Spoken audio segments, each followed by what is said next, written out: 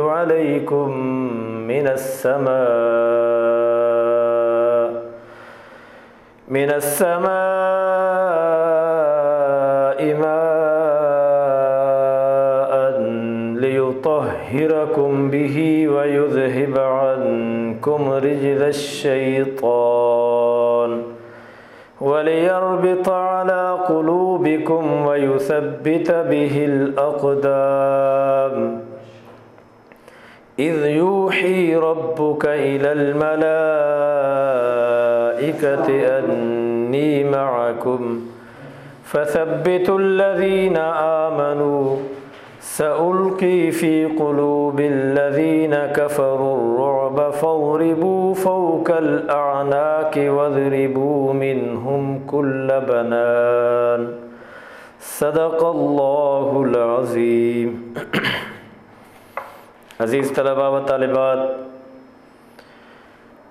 सूरतुलनफ़ाल की आयत नंबर 11 में अल्लाह जल्ला शाहू फरमाते हैं कि जब अल्लाह ने तुम्हारे ऊपर ऊँघ तारी कर दी।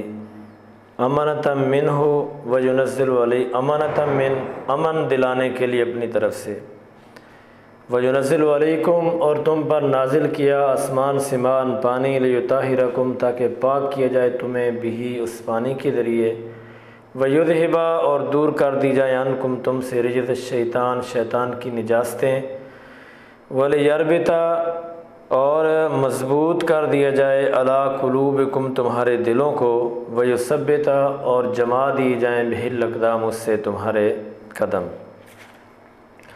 आप वसलाम जब मदीना से चले, बदर के मैदान में पहुँचे, आप वसलाम ने देखा कि हमारे सामने एक जंगी लश्कर है। आपने साहब कराम से मशवरा किया, मशवरे में तय हुआ कि हम भी जंग करेंगे।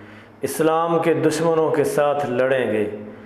आप वसलाम ने साहब कराम को वहाँ जो है ना जंगी पोजीशन बनाने का हुक्म दे दिया। तो हज़रत ख़बाब इबन मुनजर रज़ी अल्लाह तु ये अंसारी सहाबी हैं, जंगी माहिर थे, जंगी कामों के, जंगी चालों के बहुत बड़े माहिर थे। इन्होंने पूछा, या रसूल अल्लाह जहाँ आपने हमें ठहराया है या जंगी पोजीशन बनाने का हुक्म दिया है। ये क्या अल्लाह का हुक्म है या आपने अपने मशवरे से ये काम किया है? आपने फरमाया, नहीं, अल्लाह का हुक्म तो नहीं है। मैंने इसे मुनासिब समझा है। तो फरमाया, अल्लाह के रसूल, ये जगह मुनासिब नहीं है। हज़रत खबाब इबन मंजर रज़ी अल्लाह तसम को एक ऊँची जगह ले गए। फरमाया, या रसोल्ला ये जगह बड़ी मुनासिब है। मुशरक पस्त हो गए हैं। हम ऊँचे हो गए हैं।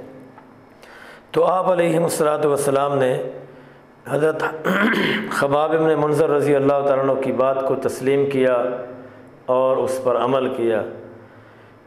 दूसरा ये था कि साहब कराम रिजवान मजमैन थकावट से चूर थे और अफरादी किल्लत भी थी। तो शैतान ने जो है ना, वो साहब कराम के दिल में बड़े बुरे बुरे वसवास डाले। कहने लगे, यार, देखो, अगर हम हक पर होते तो हमारे पास तो अफरादी क़वत की बड़ी कमी है, फिर पानी भी नहीं है। चूँकि रेगिस्तान था रेतली ज़मीन थी जहाँ साहब कराम ठहरे हुए थे। तो यहाँ पानी भी नहीं है, ना हमारे पीने के लिए है, ना वज़ू करने के लिए और ना ही जो हमारे पास सत्तर ऊँट और छः घोड़े हैं, जानवरों को भी हमने पानी पिलाना है तो पानी नहीं है। तो अल्लाह की ज़ात ने इस आयत के अंदर ये सारी बातें बयान फरमाई हैं।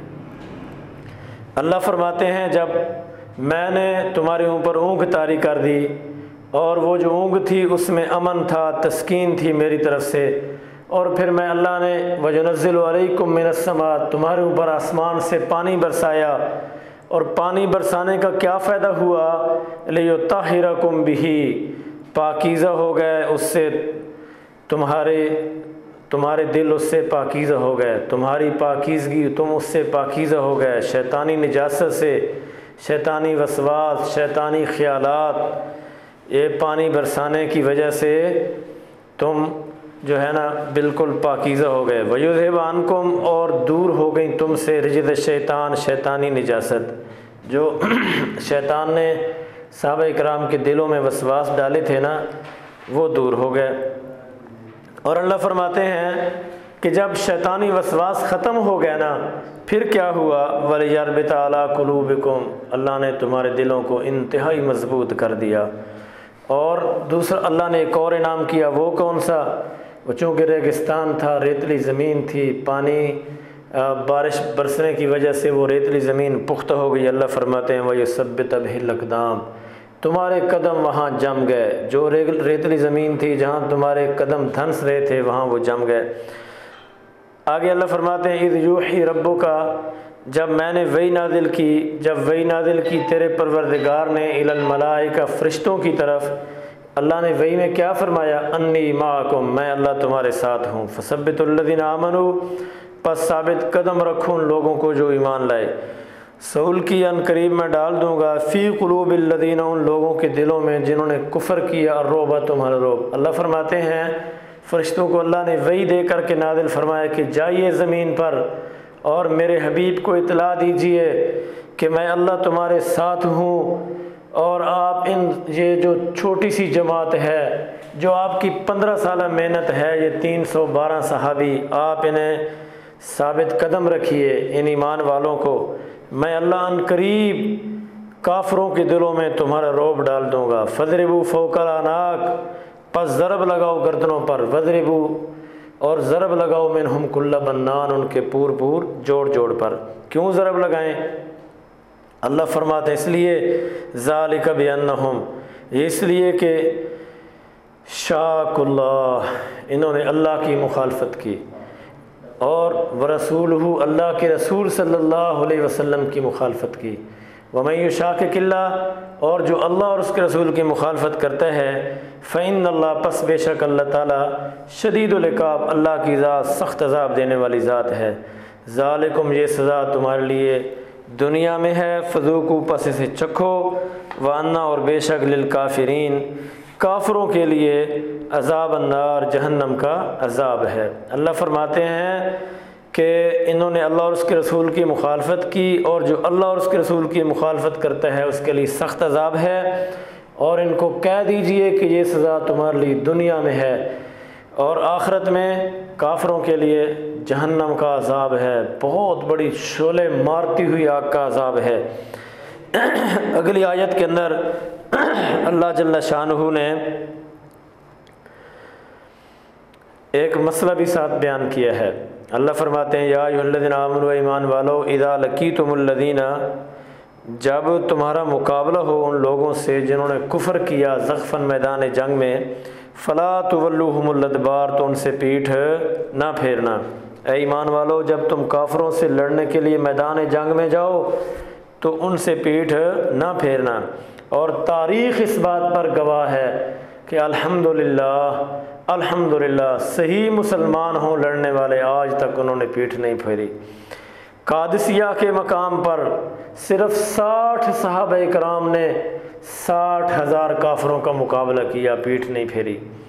और मूता की लड़ाई में तीन हज़ार साहब कराम ने एक लाख रूमियों का मुकाबला किया, अल्हम्दुलिल्लाह, सुम्मा अल्हम्दुलिल्लाह। और फिर हदीकतुलमौत एक जो है ना, तारीख़ में एक मार्के का नाम हदीकतुलमौत है, वहाँ पर सिर्फ़ एक सहाबी था, जिसका नाम हज़रत अबू दजाना रज़ी अल्लाह तु था। आपने चालीस हज़ार के करीब काफरों का मुकाबला किया है। तो अल्लाह फरमाते हैं, ईमान वालो, जब तुम्हारी मुलाकात हो, जब तुम्हारा मुकाबला हो काफरों से मैदान जंग में, फ़ला तवल्लुहमुल्लदबार तो उनसे पीठ न फेरना। आगे अल्लाह की ज़ात ने बिला वजह पीठ फेरने वालों, और किस वजह से आप पीठ फेर सकते हैं? और अगर कोई वजह नहीं है, बिला वजह फेर रहे हैं तो उसकी सज़ा अल्लाह ने बयान फरमाई। अल्लाह फरमाते हैं वमई वल्लिम और जो रूगरदानी करेगा मेरे इस हुक्म से यौम दिन उस दिन वमई वल्लिम जो फेरेगा यौम दिन उस दिन दुबरु अपनी पीठ अल्ला मतहर फल के ताल सिवाय किसी जंगी चाल के ओ मुतखजन या जा मिलना इलाफ़ियत अपने लश्कर को। फ़कत बागज़ब मिनल्ला पस तहकीक, वो अल्लाह के गज़ब और गुस्से को पहुँचा। व मावाह जहन्नम, उसका ठिकाना जहन्नम है। व बेसल मसीर और सुनो, जहन्नम बहुत बुरी जगह है। अल्लाह फरमाते हैं कि सिर्फ़ दो सूरतों में पीठ फेरना जायज़ है। एक एक सहाबी या एक मुजाहिद लड़ते लड़ते अपने मुजाहिदीन, अपने साथियों से बहुत दूर चला गया, दुश्मन के नरगे में आ गया तो वो जंगी चाल चलते हुए वापस आ सकता है पीठ फेर, यानी आ सकता है अपने साथियों से मिलने के लिए। या एक आदमी, एक मुजाहिद लड़ रहा है और अचानक उसके जहन में कोई यानी कि प्लान आता है या कोई चाल आती है कि मैं इस चाल, ये चाल चल के इनको ज़्यादा नुकसान पहुँचा सकता हूँ तो इस सूरत में पीठ फेरना जायज़ है। तीसरी सूरत है मौत के डर की वजह से। अल्लाह फरमाते हैं, जो मौत के डर की वजह से पीठ फेरेगा वमावाह जहन्नम, वबाउ बेगज़ब मिन अल्लाह वो अल्लाह के गज़ब और गुस्से को पहुँचा वमावाह जहन्नम, उसका ठिकाना जहन्नम है, और सुनो, वबेसल मसीर जहन्नम बुरी जगह है। अब आगे, अगली जो आयत है ना, फ़लम तक तलूहम वलाकिन अल्लाह कतलहम वमा रमईत इध रमईत वलाकिन अल्लाह रमा। इसके अंदर अल्लाह की ज़ात ने एक इंतहाई अहम मसला बयान फरमाया है। अल्लाह जल्ला शाह ने अपने हबीब वसलाम को हुक्म दिया मैदान जंग के अंदर। जब मैदान जंग में आप वसलाम थे आप जंग कर रहे हैं, लड़ रहे हैं, मशरकिन मक्का आपके सामने बिल्कुल लश्कर तैयार है। उनके पास साढ़े नौ सौ के करीब चल, तलवार है जो चमक रही है, दमक रही है, तेज़ धार तलवारें उनके हाथों में हैं, वो लहरा रहे हैं। और अल्लाह जल्ला शाह ने अपने हबीब वसलाम से फ़रमाया कि, ए मेरे नबी, आप चंद कंकरियाँ अपने हाथ में पकड़ें और उन पर पढ़ के दम फरमाएँ। आप वसलाम ने चंद कंकरियाँ पकड़ी और उन पे कहा, शातिल वज़ू शातिल वज़ू। आपने ये पढ़ के दम किया और मशरकिन मक्का की तरफ़ फेंक दी। जब आपने फेंकी तो अल्लाह की ज़ात ने उसको रेत बना के उनकी आँखों में पहुँचा दिया। वो आँखें मलने लगे। आप वसलाम ने साहब कराम रिजवान तजमैन को हमले का हुक्म दे दिया। अल्लाह फरमाते हैं, फ़लम तक तुलूहम पस तुम उन्होंने कत्ल नहीं किया। वला किन अल्लाह कत्ल और लेकिन अल्लाह ने उन्हें कत्ल किया। तो अल्लाह ताला बयान ये करना चाह रहे हैं कि बज़ाहिर तो आप थे, लेकिन असल जो है ना, मौत हयात का मालिक अल्लाह है। ये अल्लाह ने मसला यहाँ, ये जो अहम मसला है कि मौत हयात का मालिक अल्लाह है। अल्लाह के अलावा मौत नहीं आ सकती। अल्लाह अल्लाह मौत ना देना चाहें तो टैंकों की बारिश में भी इंसान ज़िंदा बच जाता है। और अगर मौत का वक़्त आ गया हो तो थोड़े से खौफ से भी इंसान बाद अवत मर जाता है। तो अल्लाह फरमा रहे हैं, तुमने कत्ल नहीं किया और लेकिन अल्लाह ने उन्हें कत्ल किया। हमारा मईत और आपने कंकर नहीं फेंके इधर मई मईत जब आपने फेंके वला किन अल्लाह रमा, लेकिन अल्लाह ने कंकर फेंके। वलयुबलमिन ताकि आज़माए अल्लाह ताला ईमान वालों को मिन हो, इससे बला हसन अच्छी तरह आज़माना। इन अल्लाह बेशक अल्लाह ताला समी नलीम सुनने और जानने वाले हैं। ज़ालिकुम, ये ये जो कुछ हमने किया, ये इसी तरह हुआ। इसका एक मैनी ज़ालिकुम का ये है और दूसरा मैंने इस ज़ालिकुम का कि ये बात तो हो चुकी है वान अल्लाह और बेशक अल्लाह ताला मोहिन, कमज़ोर करने वाले हैं, कई दिल काफरीन, काफरों की चाल को। इन तस्तफ़ते हो ए काफरो, अगर तुम फ़तह चाहते हो, जनाब मोहम्मद सल्लल्लाहु अलैहि वसल्लम पर फ़कत जाकुमुलफ़त तो तुम्हारे पास फ़तह आ चुकी वन तन तहु अगर तुम बाज आ जाओ फ़हु खैरकुम तो ये तुम्हारे लिए बेहतर है। ये जो आयत है ना, इसका शान नजूल कुछ इस तरह है कि मशरकिन मक्का, जब मक्का से निकलने लगे ना तो वहाँ पर दो गाली किस्म के मशरक थे, बड़े मुतासब मशरक। एक हजूर नबी करीम अलैहि वसल्लम के सगे चचा, अबू जाल। अबू जाल तो उसका लकब था जाहिलों का बाप असल उसका नाम था अमर इबन हशाम। और दूसरा जो मशरक था ना, गाली मशरक, बड़ा मुतासब किस्म का मशरक था, उसका नाम था नज़र बिन हारिस। नज़र बिन हारिस और अबू जाल ने गिलाफ काबा को एक तरफ़ से अबू जाल ने पकड़ा और दूसरी तरफ़ से नज़र बिन हारिस ने पकड़ा। और उन्होंने दुआ की, उन्होंने कहा, अल्लाह जो हम में से हक पर है ना, उसे बचाना, फ़तह देना। और जो हम में से झूठा है, उसे तबाह बर्बाद कर देना। हदीस के अंदर उनके जो अल्फाज अल्लाह के रसूल ने नकल फरमाए हैं, उन्होंने कहा अल्लाहिन मन कत और रहम। रहम अल्लाहिन मन कत और रहम अल्लाह, जो कतर रहमी करता है, उसे ख़त्म कर दे। उन्होंने ये कहा, जो कतर रहमी यानी वो कतर रहमी समझते कि नबी रसूल अलैहि के आने से बाप बेटे से जुदा हो गया, भाई भाई से जुदा हो गया, पड़ोसी पड़ोसी का दुश्मन बन गया, एक घर में एक मुसलमान है, बाकी उसके दुश्मन हैं। तो अमन ख़त्म हो गया, सुकून गारत हो गया, मुआशरा बिखर गया, रिश्ते टूट गए। तो नबी वसलाम माजल्ला आप हक पर नहीं हैं। तो वो ये समझ के उन्होंने गिलाफ काबा को पकड़ के दुआ की, अबू जाल ने और नज़र बिन हारिस ने। अल्लाह ने उन उनका ये जो हरकत है ना, उसका जवाब दिया। अल्लाह फरमाते इन तस्तफ़ते हो ए काफरो, ए मुशरको, अगर तुम फतह चाहते हो, तुम ये चाहते हो कि जो सच्चा है, उसे फ़तह मिले तो फिर सुनो मेरे अल्लाह का ऐलान। फ़कद जाकुमुलफ़त तुम्हारे पास फ़तह आ चुकी है। व इन तन अगर तुम बाज आ जाओ फ़ो खैरकुम तो ये तुम्हारे लिए बहुत बेहतर है। व इन तऊदू, अगर तुम पलट कर आओगे, नऊद हम भी पलट कर आएँगे। वलन तुगनियानकुम और हर कितना काम आएँगे। तुम्हारे फ़ियतुकुम तुम्हारे लश्कर शैन कुछ भी। वलो कसरत, अगरचे वो बहुत ज़्यादा क्यों ना हो। वान अल्लाह, और बेशक अल्लाह ताला बालमिन ईमान वालों के साथ है। या यादिन आमन ईमान वालो वतील्ला इतात करो अल्लाह के, उसके रसूल की। वला तवल्लो रूगरदानी न करवानो इससे। वान तुम तस्माउन और तुम सुनते हो। वला तकून और तुम न हो जाना। कल्लदीन, उन लोगों की तरह। कालू समेना, जिन्होंने कहा, हमने सुन लिया। वह वहमला यसमाउन, मगर हकीकत में वो नहीं सुनते। हज़रत सैदा तयबा ताहिरा मुनज़ा मुफसा मुकर्रमा सैदा मीश सिद्दीक़ा रज़ी अल्लाह तहा सदीक़ा कायनात सैदा अम्मी ऐशा सिद्दीक़ा रिजवान तजमैन आपसे रवायत आप फरमाती हैं, एक होता है कानों का सुनना और एक होता है दिल का सुनना। कानों के साथ जानवर भी सुनते हैं मसलन लोगों ने कुत्तों के नाम रखे होते हैं, गधों के नाम रखे होते हैं, घोड़ों के, बकरियों के, गाय के, मुर्गियों के, लोगों ने नाम रखे होते हैं, उनको पुकारते हैं तो वो उन नामों से सुनते हैं और उनकी तरफ़ आ जाते हैं। तो कानों का सुनना और होता है, दिल का सुनना और होता है।